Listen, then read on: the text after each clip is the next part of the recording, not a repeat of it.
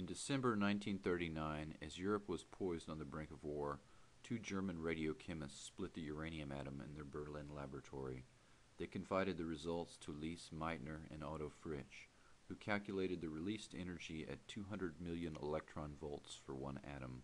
The significance of the event was understood immediately in scientific communities in all nations. Virtually unlimited energy could be produced in a controlled reaction, and an uncontrolled reaction would yield an explosive of incredible power. The University of California at Berkeley was where plutonium 238, half life 86 years, and plutonium 239, half life 24,000 years, were first created. Seaborg, Segre, and McMillan used cyclotrons to, to produce one microgram of plutonium. After months of work, their product could be detected but was too small to be seen. Plutonium was described as a crazy metal. Small amounts spontaneously combust in air, so it must be handled in an oxygen free environment. Depending on the chemical form, it might be blue, green, purple, yellow, red, brown, or pink. Seaborg said under some conditions it might be brittle like glass or soft like lead. It would disintegrate at room temperature, undergo five phase changes between room temperature and the melting point. It is fiendishly toxic even in small amounts. Robley Evans, who studied women exposed on the job to radium, wrote that as little as two micrograms, two millionths of a gram, was fatal. Ernest Lawrence told government officials that plutonium 239 could be used to make a super bomb. It was 1941, and the United States would be in the war in a matter of months. Albert Einstein, Leo Szilard, and Arthur Compton were instrumental in persuading FDR to study the feasibility of building a nuclear bomb. The Manhattan Project was a secret effort to build the atomic bomb. It was a gamble that represented several billion dollars and a significant percentage of the wartime budget. The Oak Ridge plant in Tennessee was 56,000 acres devoted to making uranium 235, and the Hanford, Washington site was devoted to making plutonium. These facilities had taken the bench scale process and increased it a billionfold. General Leslie Groves was tapped to head the massive project. He appointed Robert Oppenheimer to be in charge of the design, construction, and testing of the weapon. Los Alamos, New Mexico was chosen as the site of the facility to build and test such a weapon. Quantum physics was a science that had been invented by 20 year olds, and the staff Oppenheimer assembled for the Manhattan Project reflected that. The bomb might not work, and if the high explosive failed to ignite the fission reaction, $2.5 billion worth of plutonium would be scattered across the Jemez Mountains. Jumbo was the largest fabricated object ever built, designed to contain the plutonium if ignition failed. At dawn on July 16, 1945, the Trinity site witnessed the detonation of the device codenamed Gadget. The remaining two devices, named Little Boy and Fat Man, were used on Hiroshima and Nagasaki on August 6th and 9th, killing approximately 200,000 people. World War II terror bombing of civilians began with the London Blitz, killing 30,000 people, and culminated in the firebombing of Dresden, Germany, and Tokyo.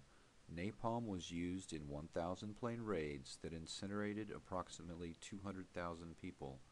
The atomic bomb did not add to the scale of mass murder of civilian populations, but it certainly made it more efficient. Many of the scientists were appalled at the results. Some had urged a demonstration shot. They publicly declared that the U.S. possessed only a few years' head start before another nation followed suit. Many of the scientists and some of the generals advocated international control and the eventual banning of nuclear weapons. Those that tried to head off a nuclear arms race in the end failed as events and personalities took on a momentum of their own. Edward Teller advocated the super heavy, the hydrogen bomb. Oppenheimer objected to the development of the hydrogen bomb and stated that these were genocidal weapons. He was promptly replaced. Teller assumed the scientific leadership of the weapons program and remained influential for the entire Cold War. The largest hydrogen bomb ever tested by the U.S. was around 40 megatons, 4,000 times more powerful than the 10 kiloton Hiroshima bomb. The nuclear arms race that followed has resulted in the doctrine of MAD, mutually assured destruction. if either the U.S. or USSR launch any or all of their half of the 20,000 existing nuclear weapons they have aimed at each other, then they can rest assured that they too would be completely destroyed in a retaliatory strike.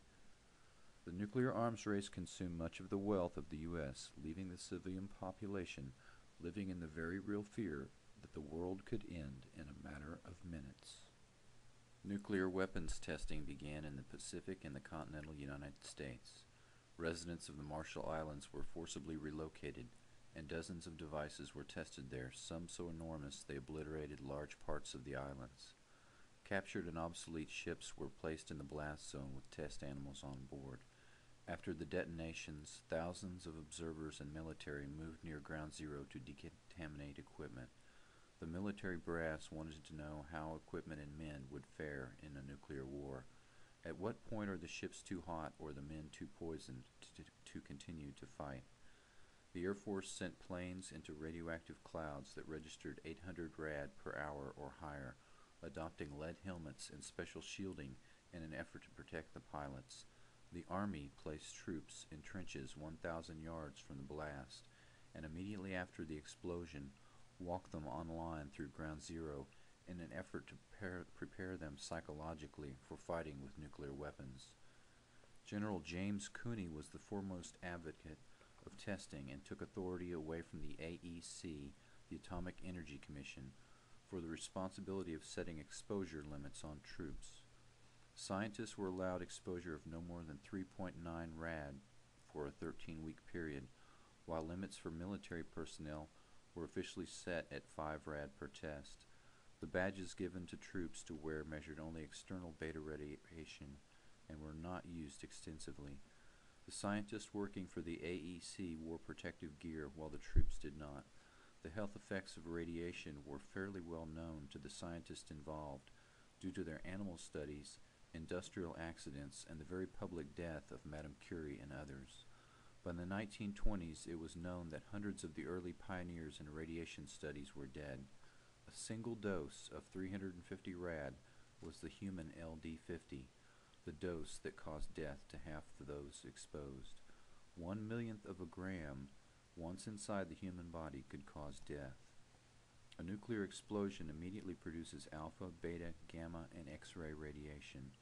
Hundreds of different radioactive isotopic particles are formed as residual contamination that is absorbed into different body tissues with varying degrees of longevity and toxicity.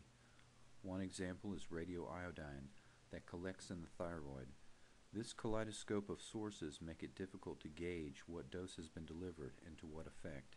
The inhalation of a small particle of plutonium could collect in the bone and emit energies on the order of 200 million electron volts. The normal energy level of the human cell is 10 electron volts, and under such an assault, the cell either dies, becomes inoperable, or grows uncontrollably, in other words, cancer.